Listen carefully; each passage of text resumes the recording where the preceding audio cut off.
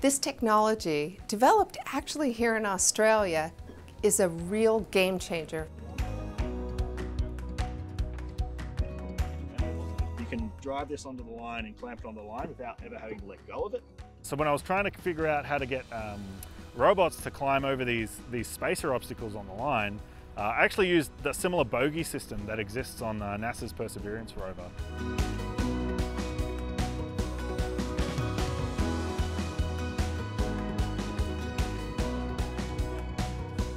To see it up on a real line for the first time is, is amazing.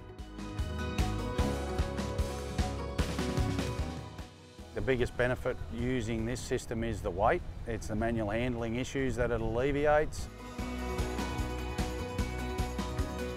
When it comes to working at heights, you don't get much higher than space.